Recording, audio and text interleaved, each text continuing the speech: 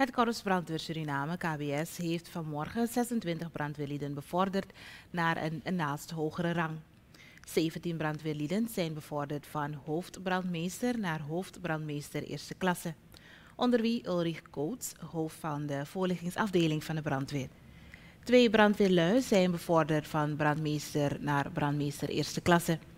Verder zijn zeven hulpbrandwachtleden hulpbrandweerleden bevorderd tot brandwacht eerste klasse. De minister van Justitie en Politie, Stuart Getrouw, spelde de epauletten op voor de eerste groep bevorderden. De brandweerlieden. De bevorderingsceremonie vond plaats in de hoofdkazerne van de brandweer aan de Gemeenelandsweg.